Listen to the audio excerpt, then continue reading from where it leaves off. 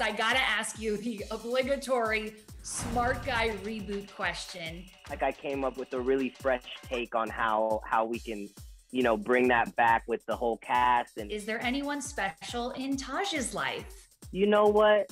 No, and it's like that for a reason. We have a a, a, a, a FaceTime uh, thing that we do with all the siblings called Sibling Love. Nobody's safe in the group chat. I'll say that. yeah. I'm really excited about Welcome Matt. It's got a pretty unconventional and unique plot. I really think you need some professional help, sweetheart. I don't understand what's happening. You suffer from agoraphobia, which is a fear of going outside due to trauma and loss.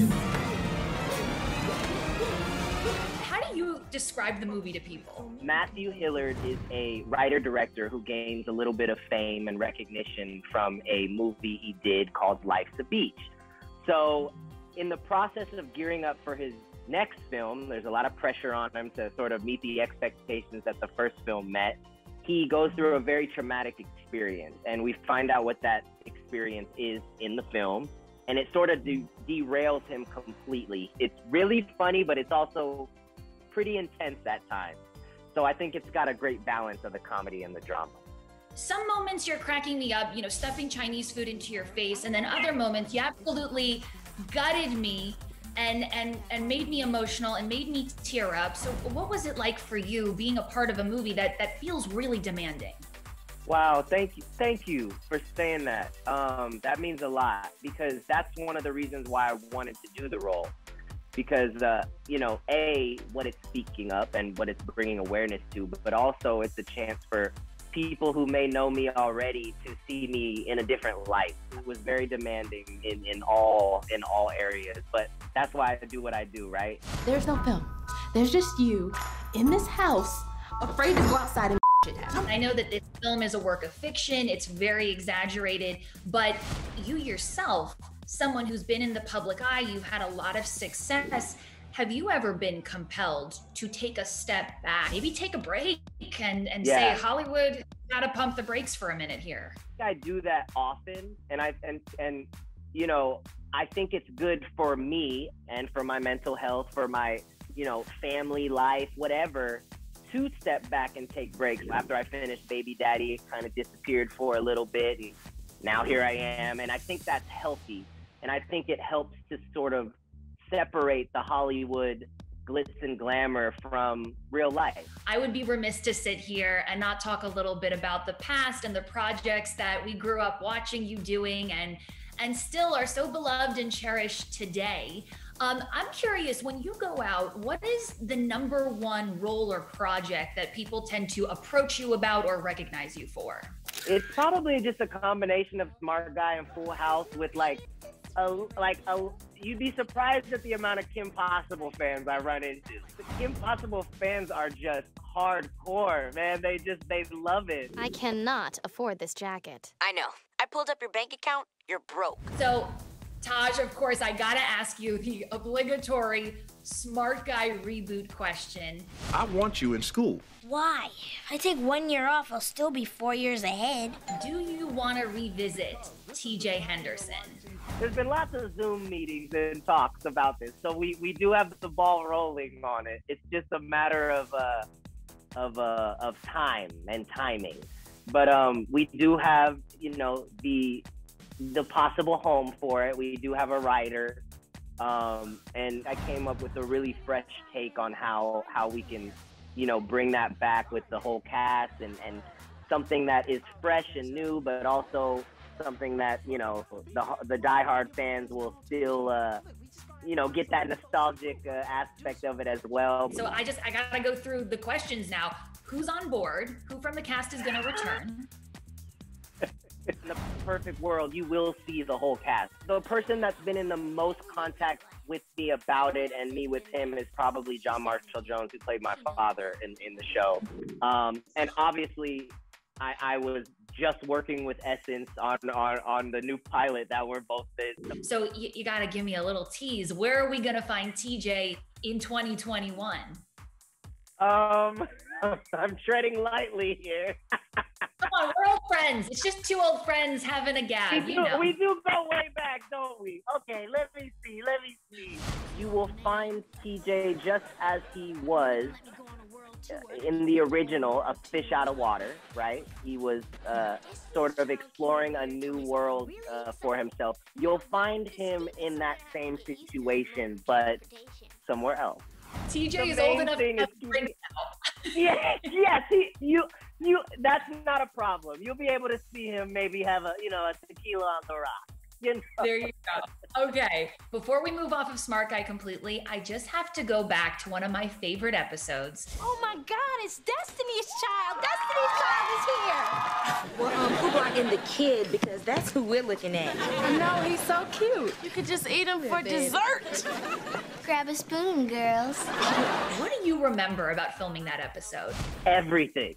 I had the biggest uh, crush on LaTavia, um, and and LeToya, and uh, all of them. Let's be real. Not Beyonce and Kelly? Come on. like some, I think it was it LeToya. I, you know, you know, you gotta find that one. You know, and I found my one on set. You know what I'm saying? So, but I mean, Your one was LeToya. my one was Latoya. And, you know, to be able to show my tap dancing skills, you know, with Beyonce, I mean, I know she still got to remember it. I know, I know she do. I, have to commend you, and I'm sure you hear this all the time, that you are just so level headed, you're grounded. We only hear wonderful, positive things about you and your family. And, um, and I'm curious if you think that has anything to do with the fact that you know you took a little break from acting you went to regular high school you played football you went to college you think that that helped you avoid you know the typical pitfalls of, of childhood stardom I most definitely think so. I wouldn't have done those things if it weren't for our amazing parents. You know, I got to give it all to them. I was going back to regular school, public school, after I was on set. You know what I mean? So I think that helped me stay normal in a sense. Um, and to realize that, you know, it was just a job. It wasn't like a complete, um, it, it wasn't my life. It was a job that I did that I'm very thankful I still get to do. But I went home afterwards and hung out with my friends and went to football and track practice and had homework just like all the other kids do. So I definitely think that was a, a, a huge, a huge reason why I um, am somewhat normal. You're still so young and you've achieved so much. I'm curious, what is on the Tahj Mowry bucket list? I I wrote a screenplay, and this summer we're gearing up um, to go into production on that, and it'll be my directorial debut. So I'm uh, I'm very very excited. It's a blend of Get Out and Skeleton Key, and that's that's that's all I'll say about that. There's a lot of T's in the house. There so is there's a lot of Tavior, Ts. Tahj, Tia, Tamera. So when I'm trying to mm. call one of them, sometimes I'll call him Tave, sometimes I'll call him She'll Tamera. run down the whole list of Like, like, tick, tick, every name in the family, just until one sticks. It's it's so beautiful to watch Tia and her family and Tamera and her family and your brother Tavior just got married. So I have to ask, is there anyone special in Tahj's life? You know what? No, and it's like that for a reason.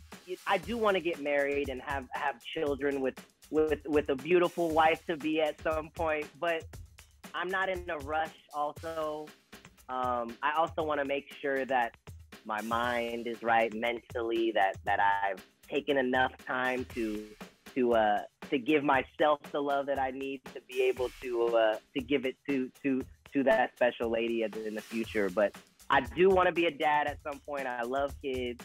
What what qualities are most important to you when you're looking for a partner? Faith. Um, uh, I I was I was just explaining to someone there's nothing sexier to me than like a boss woman, you know. So I'd like to that Jay Z Beyonce sort of thing, you know, where you both are bosses in your Mhm. own right. Confidence, faith, um, funny.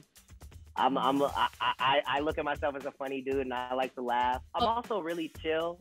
So like maybe not so much on the high maintenance side. But, you know, and and just on Thank the topic you. of family, I have to tell you, I spoke with both of your sisters separately throughout quarantine. And in October, Tamera told me that she still hadn't seen Tia in person. Was I still haven't seen her physically. Um, no, I, I, I Wait, haven't. after six months? No, because I live in Napa. Is this the longest you've ever gone in life? without Um, yeah. I'm curious, now that we're here in March, have you had your opportunity to have your family reunion with Tamera yet? Yes, I have. I was able to see my sister. Um, and then also for Easter, the day before Easter, we will finally be able to get the whole family together to see each other. What was it like for you to be there with your whole family after the womb mates had to spend so much time apart? I love that, the womb mate. It was honestly really beautiful. My brother and I joke around all the time because when they're together, no one else matters. It's just, Exists. Hey, hey, Tia, Samira, uh, I got a question. No, and they're just, I know, right? And then that's blah, blah, blah. And it's just like, they, they not hear me? I'm right here. Um, but it was beautiful. We have a a, a, a, a FaceTime uh, thing that we do with all the siblings called Sibling Love. And, and we all four of us get on FaceTime together and we try to do it as often as possible. We have group chats on text, we have a group chat on Instagram, we have our FaceTime group.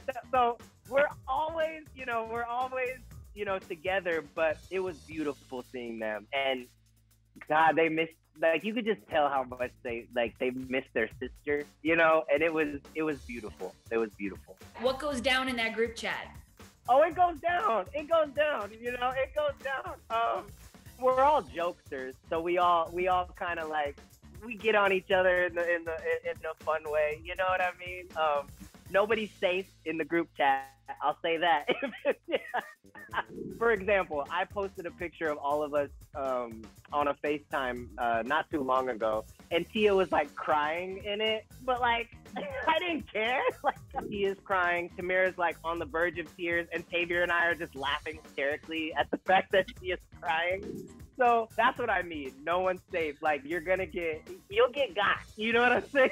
yeah, for sure, for sure. No sibling is safe here.